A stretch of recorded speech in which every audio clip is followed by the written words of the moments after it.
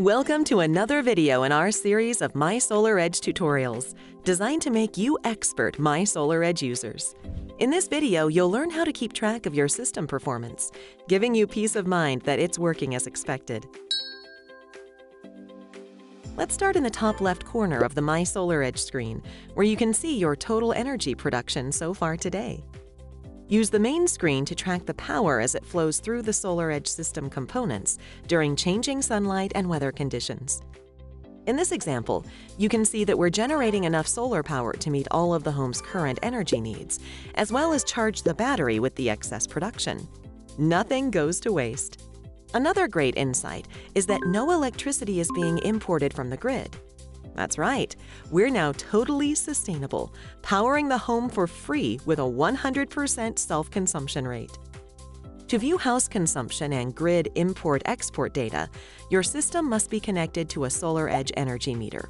If it's not, contact your installer. When the battery is fully charged, the excess energy can be exported back to the grid, used to charge the EV, or automatically turn on home appliances if they're connected to SolarEdge's smart energy devices. Note that you can easily turn these devices on or off directly from the main My SolarEdge screen, as well as fully configure their operation schedules from the Smart Devices tab. Meanwhile, the battery continues to discharge overnight, keeping the household running and electricity costs down. To understand exactly how your system production is actually used, or how much energy your house consumes from each energy source, just take a look at the energy balance charts. For example, compare the amount of energy consumed from the grid to the clean energy consumed directly from solar and from your battery for daily, weekly, monthly, yearly, or billing cycle periods. Configure your billing period simply by tapping the dates.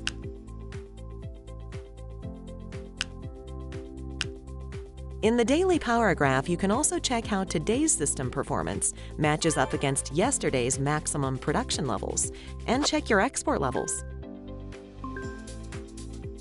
Want to go back further? You can.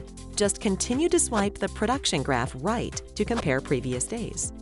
You can perform the same operation by using the back and forward icons, or just tap on the dates to choose a specific date.